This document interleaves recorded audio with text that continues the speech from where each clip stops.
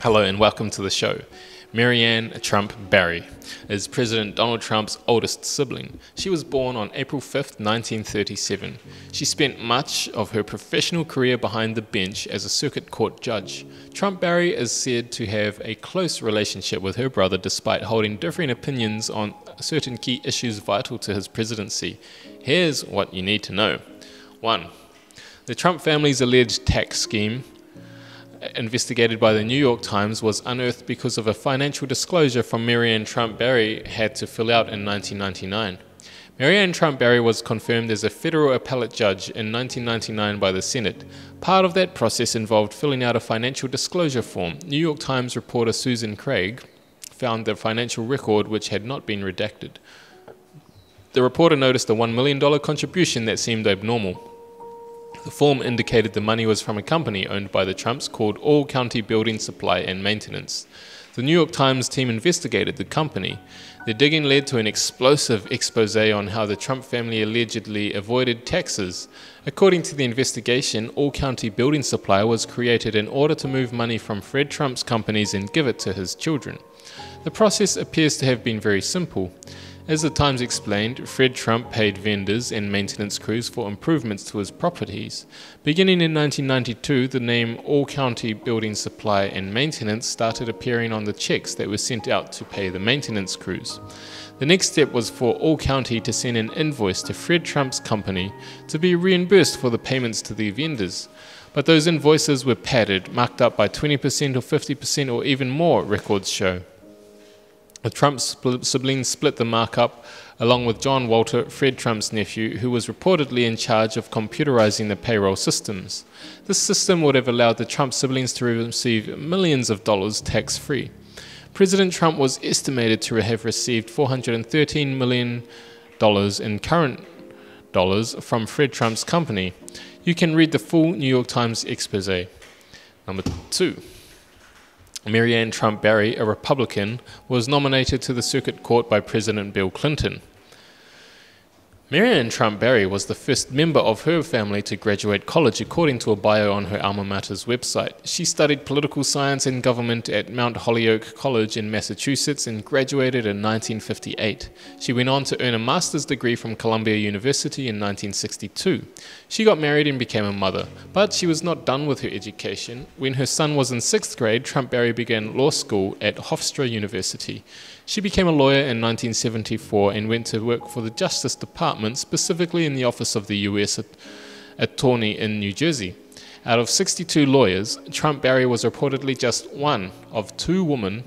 Her titles during that nine year span included Assistant U.S. Attorney, Chief of the Appeals Division, and First Assistant U.S. Attorney. Trump Barry's next job was to move behind the bench. President Ronald Reagan made her a judge in the U.S. District Court for the District of New Jersey in 1983. She served on that court until 1999, when President Bill Clinton nominated her to the U.S. Court of Appeals for the 3rd District. Trump Barry still holds the title of senior judge but took an inactive status in 2017.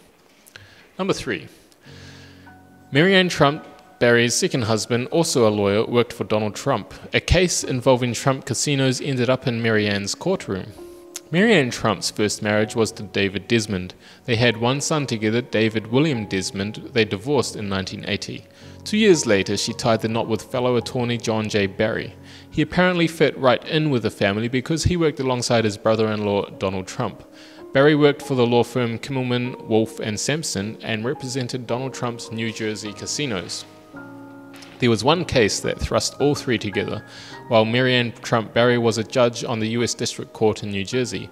Her brother's associate, Joseph Weichselbaum, owned a company that flew high paying customers to Donald Trump's New Jersey casinos via helicopter. Trump Barry herself had ridden on one of these helicopters, but this business relationship became very complicated when Weichselbaum was convicted of drug trafficking.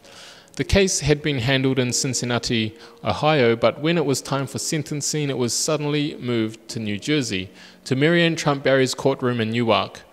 Judge Trump Barry recused herself from the case, citing the fact that she and her husband had flown on a Weichselbaum helicopter. Weichselbaum had been living in Trump Plaza in Manhattan at the time. Donald Trump allegedly wrote a letter to the court asking for leniency for Weichselbaum. In recent years, he has denied sending such a letter.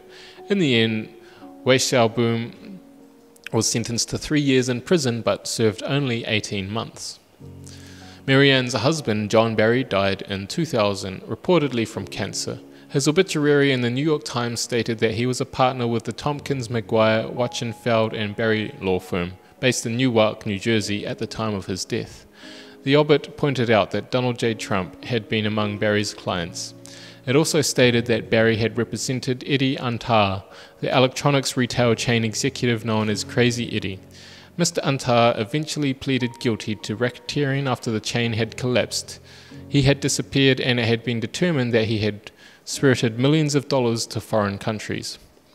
Barry and Maryanne Trump had one daughter together, Barbara Coates. Number four. Maryanne Trump Barry is said to be close with her brother, but she and Donald appear to have differing opinions when it comes to immigration. Maryanne Trump Barry has pointed out that her relatives arrived in the United States as immigrants. Her mother, Mary MacLeod, came from Scotland when she was 18 years old. Their paternal grandparents, Frederick and Elizabeth Trump, were from Germany. They all were able to come to the United States because they had relatives already living here, otherwise known as chain migration. That background appeared to have influenced Trump Barry's opinions as a federal judge. She was known for her compassion to the individuals specifically impacted by the immigration law. One example of this was the case of Malachy McAllister. In 1999, he was facing deportation back to Northern Ireland. He had left in the 1980s amid political turmoil and had asked for refuge in the United States.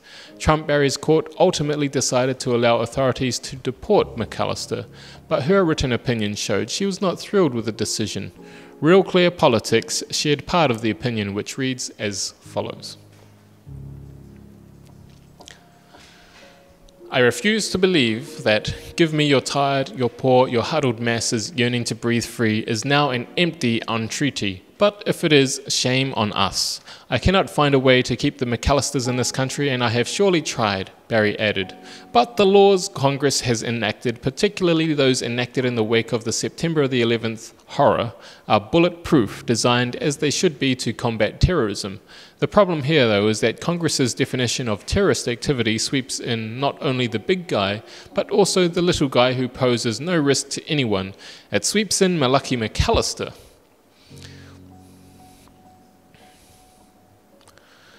In a 2006 opinion, Trump Barry criticized a fellow judge for his treatment of immigrants that came into his court. The opinion included the following language. It is a hallmark of the American system of justice that anyone who appears as a litigant in an American courtroom is treated with dignity and respect. In a country built on the dreams and accomplishments of an immigrant population, a particularly severe wound is inflicted on that principle when an immigration matter is not conducted in accord with the best of our tradition of courtesy and fairness. Thank you.